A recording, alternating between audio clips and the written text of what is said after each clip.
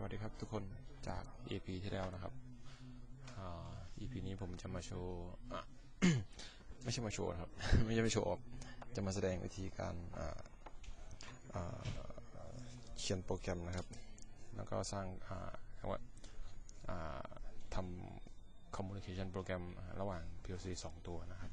ก็คือตอนนี้ผมจะมาทำอันนี้เป็นเป็นเป็น system architecture ที่ที่ผม ได้กล่าวไว้แล้วในใน EP แรก ๆนะครับ โอเคเดี๋ยววันนี้เราจะมาเริ่มเริ่มมันก่อนนะครับ เราจะมาเทสไอ้สองตัวนี้ไอ้สองตัวนี้นะครับ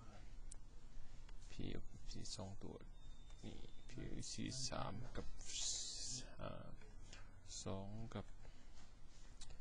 หนึ่งนะครับ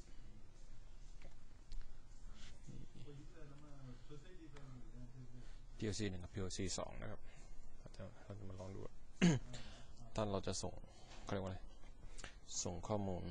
ในระหว่างสองอ่า PLC สองตัวเนี่ย เราเราทำยังไงได้บ้าง โอเคครับ เรามาเริ่มเลยอ๋อเสียงผมแผ่นๆว่าเพิ่งกินข้าวเสร็จ โอเค มาที่โปรแกรมแล้วครับ โปรแกรมปุ๊บ ตอนนี้เรามีอะไรในใน PLC 1กับ PLC 2ครับอ่าไม่มีอะไรเลย ไม่มีอะไรเลยนะครับ โอเค สิ่งแรกที่ต้องทำก็คือทำอะไรครับ ไม่รู้ว่าทำอะไร โอเค โอเค ก่อนที่จะสร้างโปรแกรมนี้ อันนี้ก็จะคนใหม่ก็จะได้เรียนรู้ด้วยครับว่าวิธีการสร้าง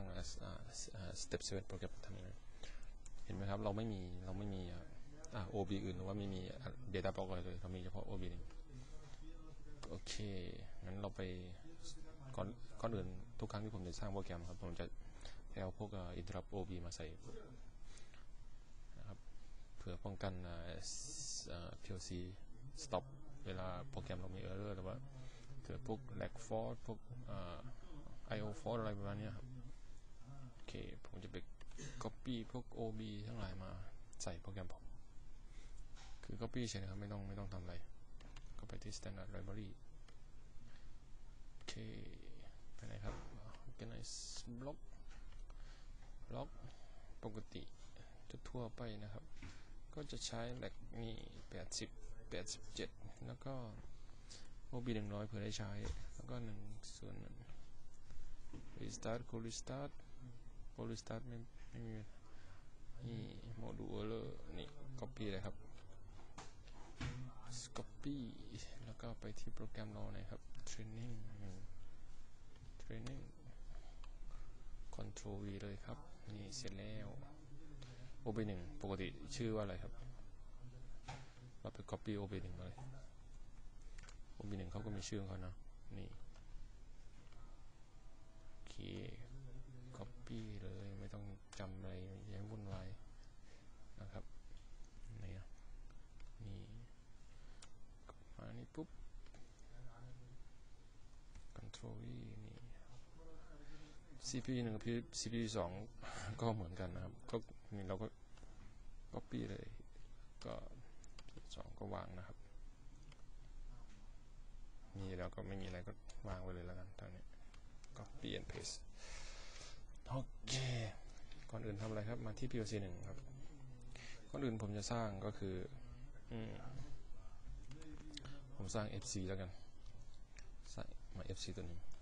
ให้เป็น FC เลยครับ FC สิบเขียนว่าอ่า com to com to PLC สอง com to PLC สองให้เป็น ladder แล้วกัน com to PLC สองนี่เป็น FC นะครับ FC สิบ FC สิบนะครับ โอเค communication เราใช้อะไรบ้างครับ โอเค เปิดมาก่อนแล้วกัน เราทำตัวหนึ่ง เปิดปุ๊บ เปิด FC10 มา ในที่นี้นะครับ ก่อนอื่นที่เราจะทำอ่าจริงๆไอ้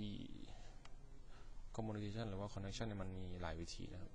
คือวันนี้ผมจะโฟกัสเรื่องนะครับ S7 connection นะครับ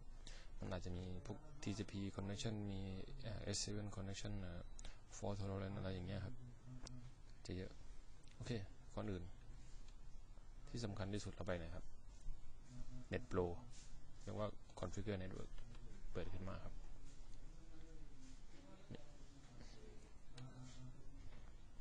โอเค เราก็จะเห็นพวก PLC เราลิสต์อย่างนี้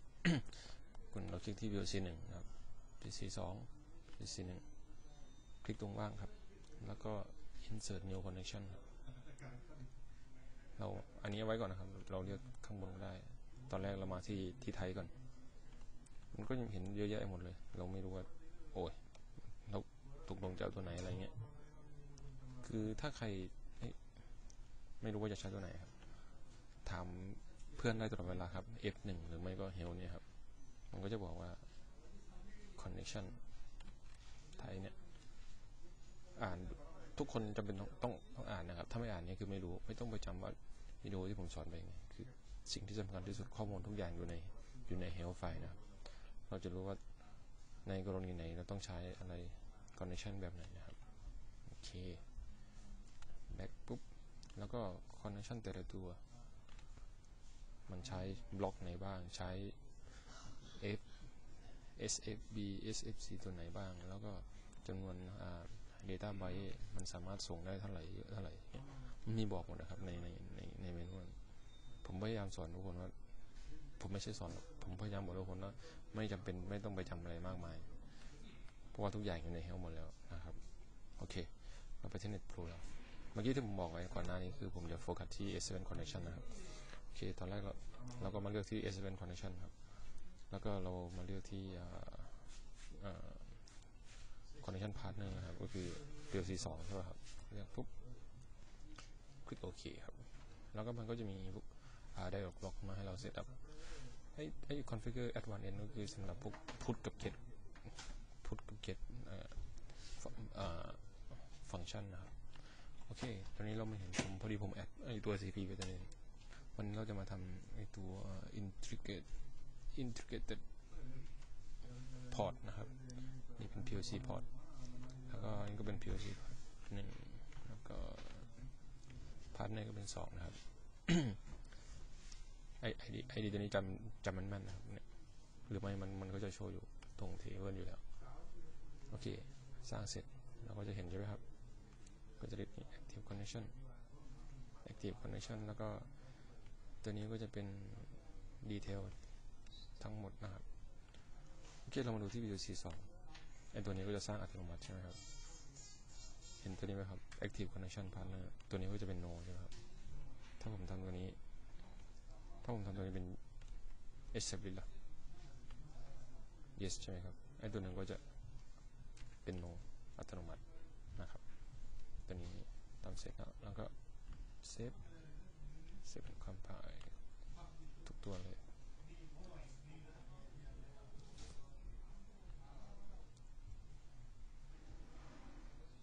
โอ เคเรียบร้อย โอเค เรียบร้อย มาที่โปรแกรมเรานะครับ โอเคไอตัว S7 Connection บางทีเราสามารถใช้ฟังก์ชันบล็อกตัวไหนได้บ้างครับ วันนี้ผมจะใช้ตัวนี้นะครับ เพราะว่าตัวนี้ไอผมสามารถใช้บล็อกตัวนี้รันใน PLC sim ได้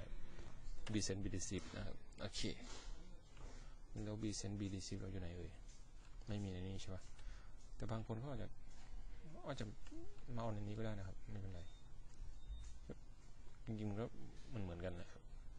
standard library อ่ามันก็จะมีพวกตึดตึดตึดตึดตึดตึด system function block อะไรประมาณนี้ก็จะมีให้เรา insert จากนี้มันก็จะไป โผล่ตรงนี้อัตโนมัตินะครับมาลองดู HFC นะครับเอ่อ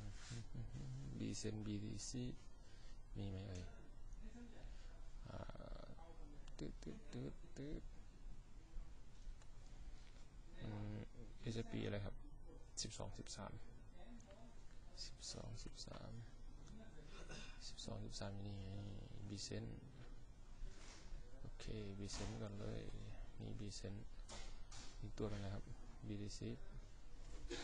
bdc โอเคตัวนี้เป็น SFB SCB มันก็จะมาคู่กับอะไรครับอ่า Instant DB โอเคนี่ผมใส่ไปเป็นให้เป็น DB หนึ่งร้อยมันก็จะถามอัตโนมัติเย็ดไปนะครับ ตัวนี้เป็นโอเค ผมก็จะมา edit symbol ให้ไปไอ DB BSE ND BSEN BSEN IC BSEN หนึ่ง BSEN PLC สอง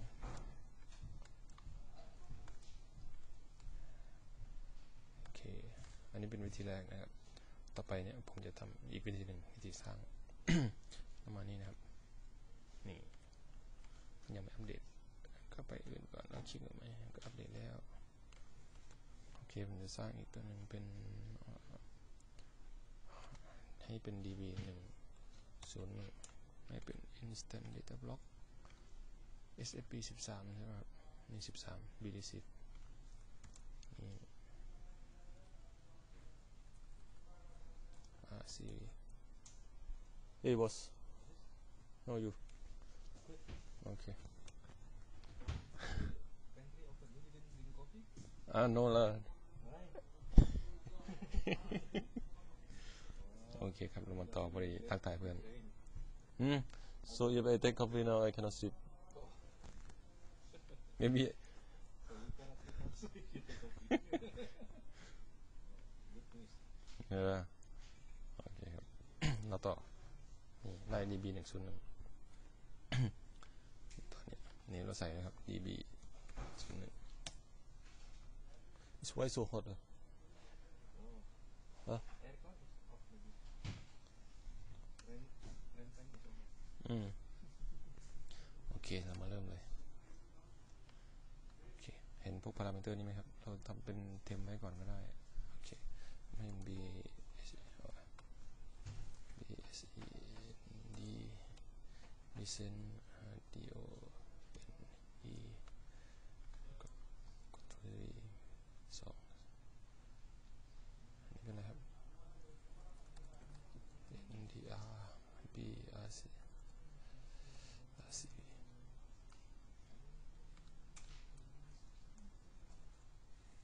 เป็นอะไรครับเออ N E R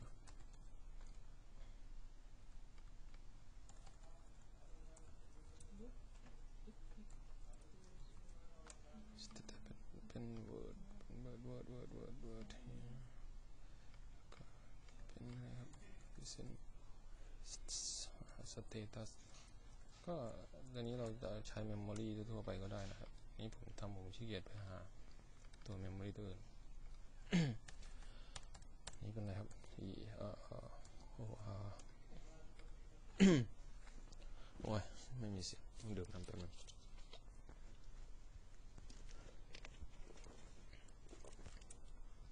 อ๋อตัวทีครับเรียบร้อยแล้ว copy จากนี้ก็มาใส่นี่เลยครับเช็คใช้เออเออนี่เป็นอะไรครับ เป็น status status ตัวนี้ก็เป็น b c v นี่เป็นนะครับเออจะเป็น status ตัดนะครับ โอเค แล้วพวกนี้ล่ะ มันคืออะไรนะครับหนึ่งการที่จะเลือก connection พวกเนี้ย ID เนี่ยไอ้บล็อกนี้มันจะมี option หนึ่งนะคลิกคลิกขวานี้ครับมี connection เลือกนะครับนี่มันก็จะบอก ID หรือถ้าไม่เอาตรงนี้นะครับ ID เอามาจากไหนเลย เรามาที่ Net Pro นะครับ นี่คือ ID นะครับ นี่ ID แล้วก็คลิกขวา นี่ก็จะ ID นี่เป็น ID หนึ่งโอเค โอเค อันนี้เหมือนกันทำเหมือนกันครับ อ้าวเมื่อกี้ผมนี่แล้วคอมไพล์ใหม่แล้วกันไม่เป็นไร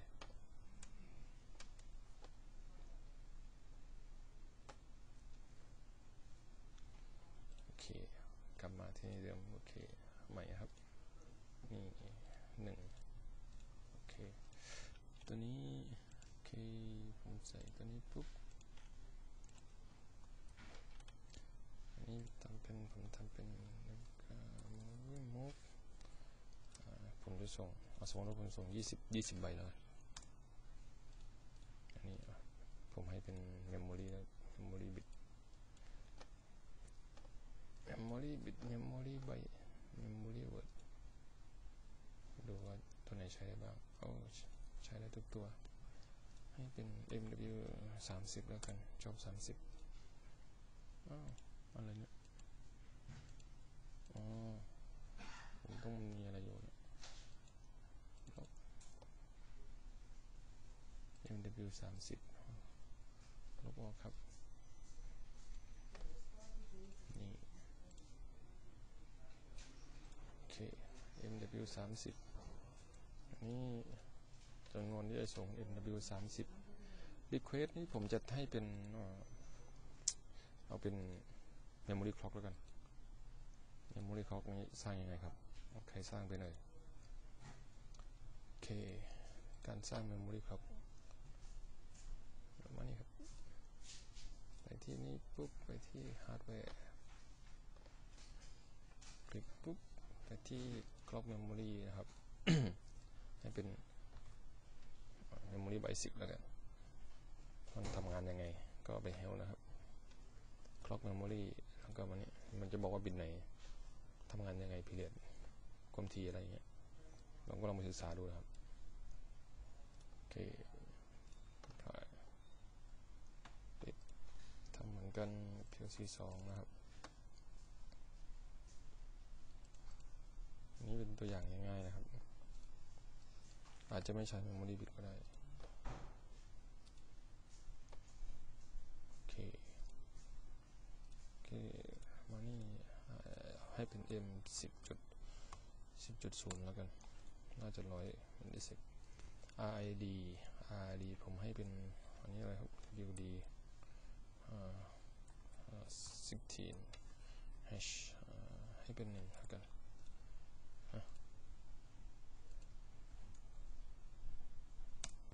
D word ไม่ใช่ WD โอเคอันนี้ก็เหมือนกันนะครับ อันนี้ก็จะให้เป็น o v i o n นะครับ o v i o n ผมมี M อะไรบ้างเลย ผมใช้ M 30ก็เซฟใช้ M 30 30 30 M 20แล้วกัน ให้เป็น M 20จุดศูนย์ เป็น NC RID ตัวนี้อันนี้เป็นหนึ่งอันนี้ id นี้ผมนี้ไปให้เป็น keyword chances hash hash hash เป็นสองเล่นให้เป็นสาม MW สามสิบ MW สามสอง Q สามสองนะครับนี่เซฟก่อน ต่อไปอันนี้คืออะไรครับกับ RD ใช่ป่ะครับ SD กับ RD เรามาสร้าง ติตันบเอาเป็น dB อะไรครับ dB 11 dB 10ให้เป็นแชร์ dB ดีตา data um, to form and form to PLC 2 form and to PLC 2 data exchange นะครับ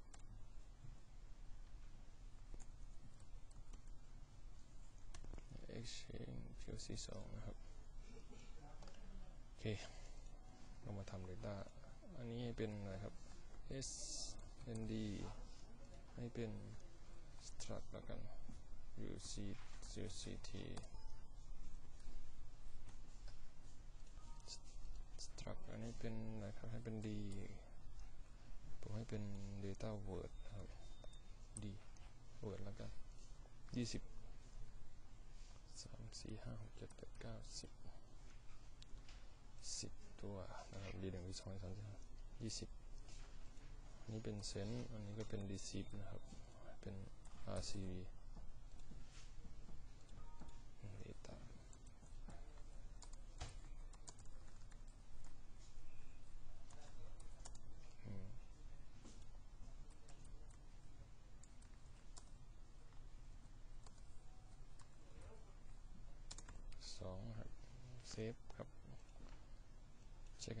and update access โอเคสิบ check and update access ตรงนี้ ก็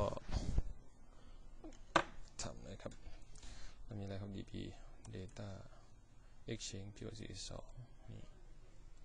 ยี่สิบใช่ไหมครับเซนมันจะ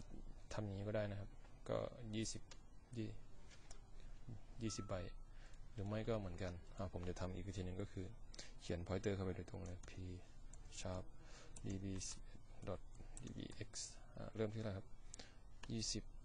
จุดศูนย์ใบเท่าไหร่ครับยี่สิบได้ถูกต้องไหมเนี่ย อ๋อ ไม่ใช่ db สิบเอ็ด db สิบนี่ ก็จะมา อันนี้เป็น เป็น receive นะครับ save เสร็จหรือยังครับ เสร็จแล้วใช่ปะ ยังไม่เสร็จ โอเค ต่อไปเปิด OP 1ขึ้นมา โอเค ใครไม่ถนัด SQL ก็ทำเป็น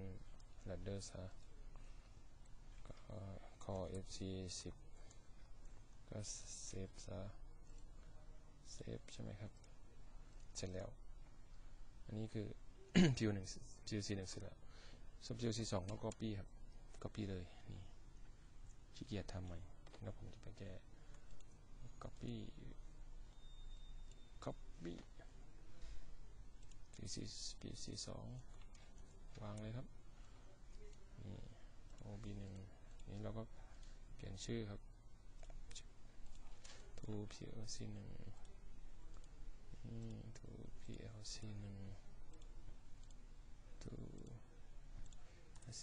1จริงๆ ไปแก้ใน symbol table ก็ได้ครับแล้วก็ OB ตัวนี้ FC 10โอเคไม่มีปัญหาแล้วก็ไปที่ FC 10นะครับ FC 10โอเคโอ้ตัวนี้ก็ยังไม่มีสามสิบลบออก edit yes โอเค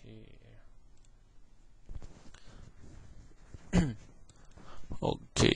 อันนี้มาแล้วสามสิบสามสิบ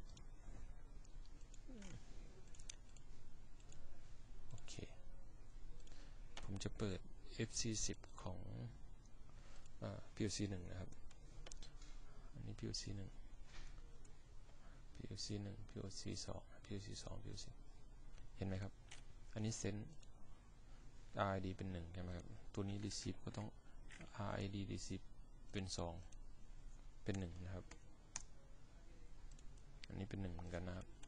ส่วนเซนตัวนี้เซนเซน1 ID 1 receive ส่วนเซน1เซน1เซน1เซน1 receive 1นะครับ อันนี้ต้องเป็น2 2แล้วก็ receive ก็ต้องเป็น อ่าตัวนี้ receive เป็น2แล้วทำไงครับเซฟเซฟถูกต้องไหมครับ โอเค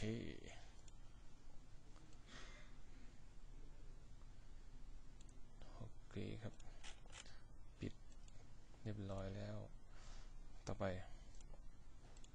รัน PLC sim ครับ โอ้ยี่สี่นาทีแล้ว รัน PLC sim PLC ตัวแรกก่อนเลย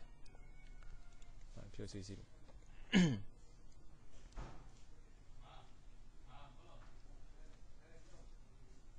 โอเค อันนี้เป็น PLC sim ตัวแรก ก็เปิด hardware config ขึ้นมานะครับ ก็ดาวน์โหลดนะครับดาวน์โหลดฮาร์ดแวร์ก่อน PLC ตัวแรก เรียบร้อย อันนี้ก็เปลี่ยนเป็น PLC 1ใช่ไหมครับ ต่อไป PLC 2 สร้างขึ้นมา แล้วก็ไปที่ PLC 2 เปิดฮาร์ดแวร์ขึ้นมา แล้วก็ดาวน์โหลดนะครับ ดาวน์โหลด มันก็จะไปที่ PLC 2 นะครับ นี่ ฮาร์ดแวร์ นี่ PLC 2 เราได้ PLC 2 นี่ PLC 1 นะครับ นี่ IP 3.2 IP 3.1 นะครับ ต่อไปเราไปที่ Net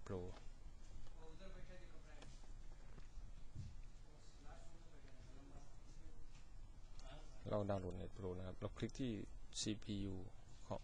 อ CPU ของ PLC 1 แล้วก็ CPU ของ PLC 2 ดาวน์โหลดทีละตัวนะครับโอเคหนึ่งดาวน์โหลด PLC 2โอเคไปที่ Cinematic แล้วปุ๊บคลิกขวานะครับ ดาวน์โหลด System Data ไม่ต้องนะครับ เมื่อกี้เราดาวน์โหลดไอตัว Net Pro กับ Hardware Config ไว้แล้ว นี่ PLC ดาวน์โหลดเหมือนกัน ก็ไม่ต้องนะครับเรามา Start PLC Run นี่ Run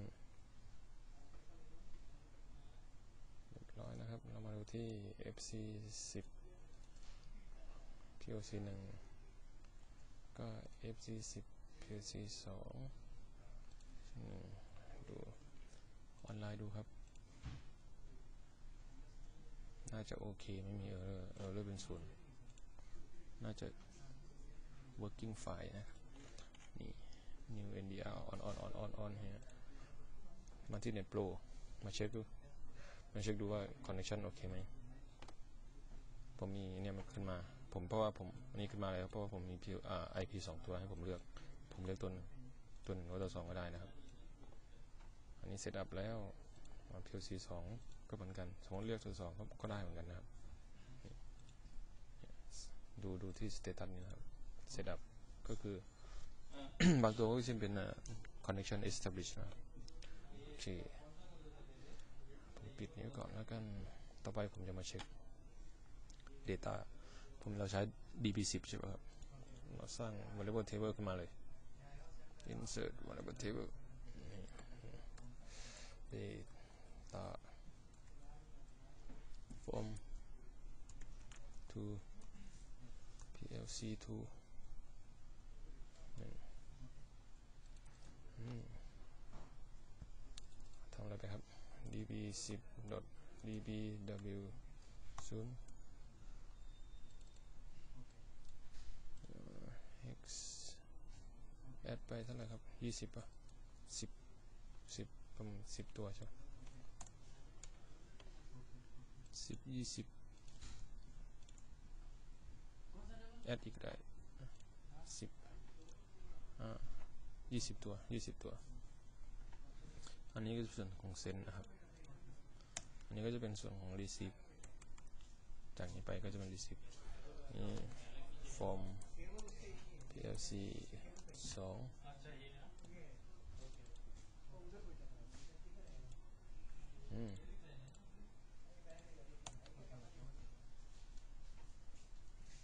นี่ก็ to PLC สองนะครับ โอเค เสร็จแล้วปิดไปก่อน copy ไปใส่ PLC สองก็ rename นะครับ PLC หนึ่งก็เปิดขึ้นมานี่ก็ to PLC หนึ่ง from PLC หนึ่งนะครับนี่ไม่ต้องปิดกลับไปอีก PLC หนึ่งเปิดเปิดขึ้นมาอีกนะครับ โอเคมาออนไลน์ดูว่า communication มันโอเคไหมอันนี้เป็นเปลี่ยนให้เป็น decimal นะครับ เหมือนกัน Dec- decimal decimal โอเค เค อันนี้เป็น POC 2 POC 1อะเปลี่ยนใหม่ นี่2นี่1นะครับ เปลี่ยนเป็นอันนี้เลยอ่า one two two one two three modify ครับน่ะผมได้มาแล้วครับ เดี๋ยวทำมาฝั่งนี้แล้ว นี่เป็น two two one two two three ก็จะ อ่า นี่ครับ ตัวนี้ก็เรียบร้อยนะครับทำเป็นศูนย์ฝั่งนี้ก็จะเป็นศูนย์ศูนย์ฝั่งนี้ก็จะเป็นศูนย์นะครับ จะเป็นหนึ่งสองสามสี่ห้าหกเจ็ดส่วนนี้เราจะไม่สามารถที่จะทำอะไรได้นะครับ เรา modify ไม่ได้ ก็จะ modify ได้เฉพาะข้างบน ส่วนนี้ก็จะไม่ไม่ได้เพราะว่า override จากฝั่งนี้ นี้ผมจะทำเป็นอะไรครับหนึ่งหนึ่งหนึ่งสองสองสามสามสามสี่สี่เก้าเก้าเก้าแปดแปดแปดโอเคมามาแล้วครับ เป็นอันว่าเรียบร้อยนะครับ นี่ก็เสร็จเรียบร้อยนี่เป็นการทำ PLC to PLC communication นะครับง่ายๆ จาก PLC 300 แล้วก็ใช้ไอตัว PLC SIM สองตัวนะครับ นี่ PLC 1 กับ PLC 2 นะครับ โอเคครับผม นี่ก็เป็นโค้ดง่ายๆสั้นๆนะครับ โอเคครับผม สวัสดีครับ เจอกัน EP หน้า สวัสดีครับ